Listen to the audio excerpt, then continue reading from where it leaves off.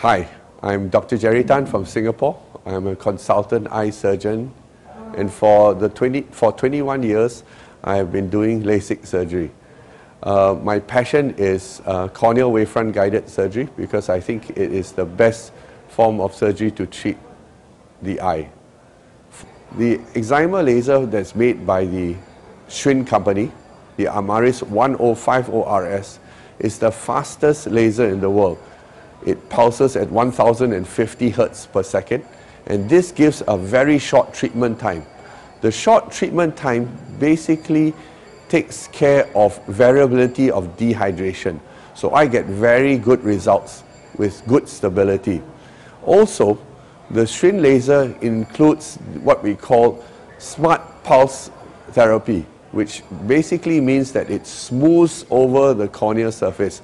This is especially important when you're doing treatments with what is called transepithelial PRK.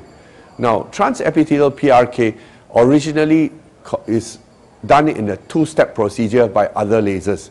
But in the Schwind laser, it actually does all the treatment in one, one sitting. In other words, it treats both, removes the epithelium and treats the corneal shape all at one go. This makes it very, very simple. There's no hyperopic shift. There's no inconsistency in the myopic correction. Trans-PRK is also very, very good for treatment of difficult cases, cases with scars, cases, cases with irregular corneas. And trans-PRK guided by corneal wavefront guided treatments is the best for treating difficult cases.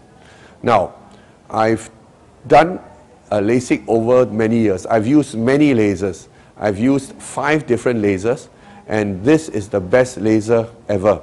I've been always very, very satisfied with the Schwind company and their technical, scientific, and marketing, as well as their uh, leadership, Mr. Rolf Schwind. I think he sets the tone for the company, and I will always treasure my time working with them. And in the future, I hope they have a really uh, wonderful, um, how do you say, wonderful uh, effort to make the laser even better. Thank you.